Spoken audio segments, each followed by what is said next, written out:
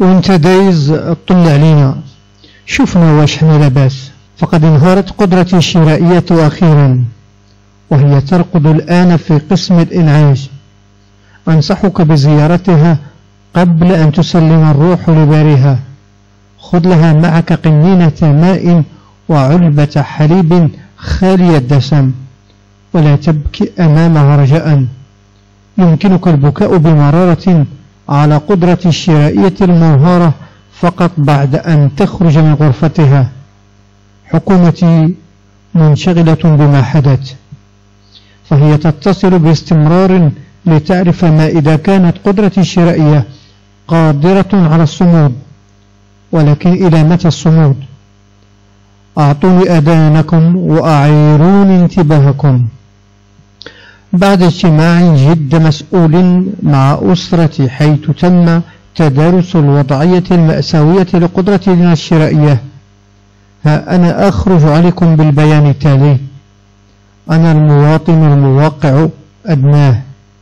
قررت نهج سياسة التقشف بسبب تفاقم عز الميزانية وشح السيولة.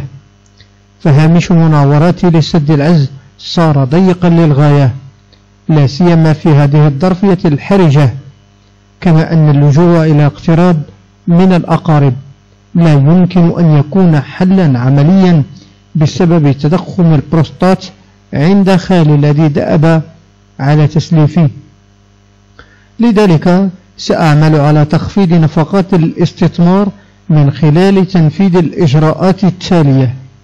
أولا عدم مرافقة أطفالي إلى حديقة الحيوانات وإقناعهم أو ضربهم لإجبارهم على مشاهدة الحيوانات المفترسة على قناة ناسيونال جيوغرافي ثانيا إشعار أطفالي بمقدار المبالغ التي ستقتطع من مصروف جيوبهم اعتبارا من هذا الشهر.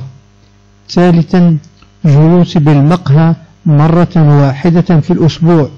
وليس يوميا كما كان معمولا به سابقا. رابعا إسقاط الموز والتفاح والإجاص والخوخ من لائحة المشتريات اليومية والإبقاء على الخبز والتمر. بزكري لأنه مدر للبول ويقي من الإصابة بالقط خامسا إطفاء إطفاء جميع الأضواء والاكتفاء بالضوء الذي يأتي من نافذة جاري سادسا منع استهلاك اللحوم منعا كليا بأنواعها البيضاء والحمراء. سابعا تسجيل أطفالي في مدرسة المخزن وإبعادهم عن التعليم اللصوصي.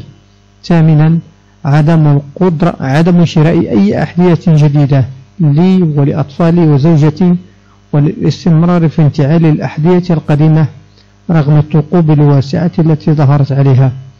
تاسعا قطع العلاقات مع الأصدقاء والجيران لمنع الزيارات المكلفة مكلفة عاشرا في حالة المرض عدم اقتناء أي دولة والاكثار من الاستغفار والله الموفق والمستعان.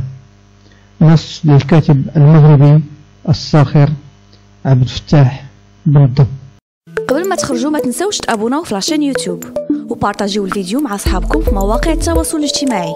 وما تنسوش ديروا j'aime.